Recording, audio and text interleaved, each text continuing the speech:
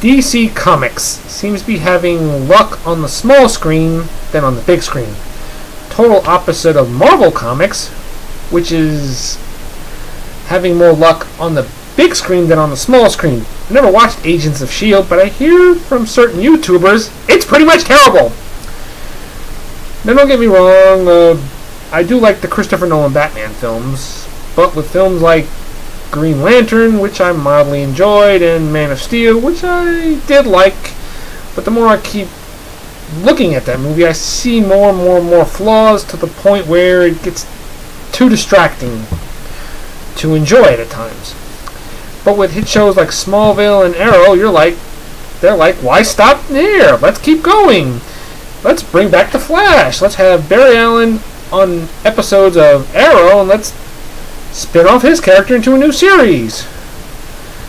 But before I get into that, I want to talk about the 1990 series, which which was probably inspired off of. Uh, they got the idea from Tim Burton's Batman, which featured John Wesley Shipp as Barry Allen, who is in a chemical accident. He's hit by lightning and, and hit with vats of chemicals, and he gains the power of super speed. I gotta say, back in 1990, the effects were pretty decent. Maybe if it was very hard for them to continue with such a series. I mean, they it kind of resorted into certain silliness, at, for the most part. Don't get me wrong. Don't get me wrong. I do like certain episodes, like the one with the trickster. With Mark Mark Hamill was a great trickster. Man, he was phenomenal. After after seeing him in that role, you producers who are probably producing the Batman animated series saying, "We need that voice.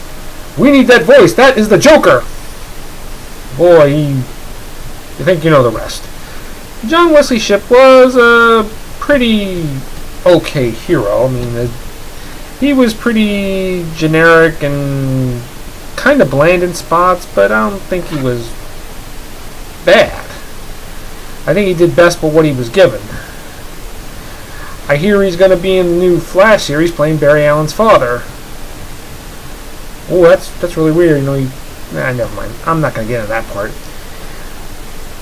I gotta say the costume was was pretty good. I mean, but you gotta take a look at the new costume. I mean, the new costume looks updated and better.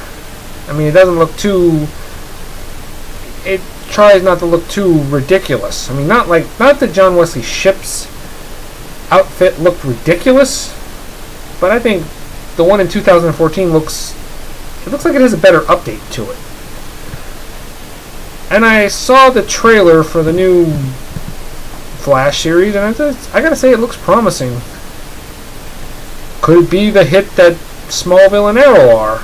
Well, we'll keep our fingers crossed. Why don't we? I gotta say, for a five minute long trailer, whew, it really told you a lot. Now, you probably know at the end of Arrow's last season, which I did catch a glimpse, young Barry Allen is struck by lightning and hit with vast chemicals, and it probably leaves you open what's going to come next for him. I believe Arrow does make a brief appearance in in that episode to tell him the hero he was meant to be. Now you probably know this new Flash is not 35 to 40 years old. This this is played this, he's played by Grant Gustin. He looks like he could be Andrew Garfield's kid brother. Maybe that's what they wanted for this role. I mean, it worked for Spider-Man. Let's have it work for the Flash. I mean, the trailer is about uh, Barry Allen trying, who witnesses his mom's death at the at, at incredible speed, and I think it hints that it's Professor Zoom, you know, Flash's arch nemesis, the evil version of him, like his General Zod sort of thing. I don't know. And this time he he has a team backing him up as the Flash, and they make the suit for him, and uh, so forth. They get introduced to metahumans, this evil villain who can control the weather. That looks that looks promising, I gotta say. And uh, what else?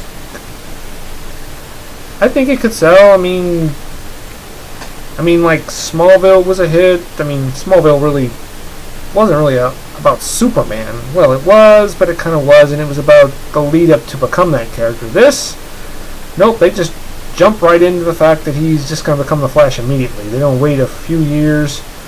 Unlike TV's other new series, Gotham, which it showcases a young Jim Gordon and showcases all the other characters from Batman. And the other show, Constantine. Hmm. But will The Flash be a hit? I believe it will. Let's just keep our fingers crossed and let's let's see if it's gonna soar high. I wonder if they're gonna bring back Captain Cold or the Trickster. Man, Mark Hamill. He's gonna be hard to top. Hmm. Alright, catch you later.